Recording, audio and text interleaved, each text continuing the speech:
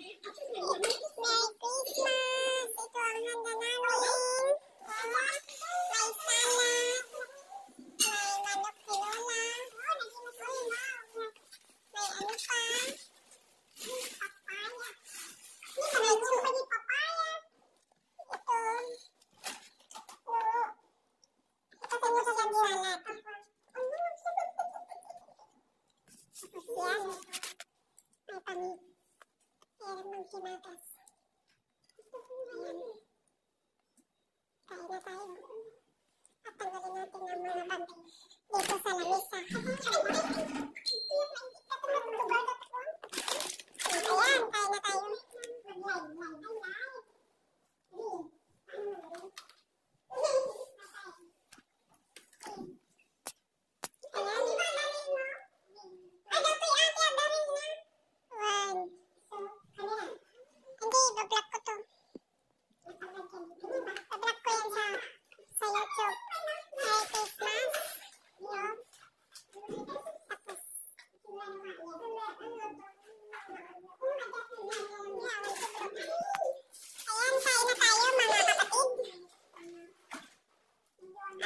ang ating handa.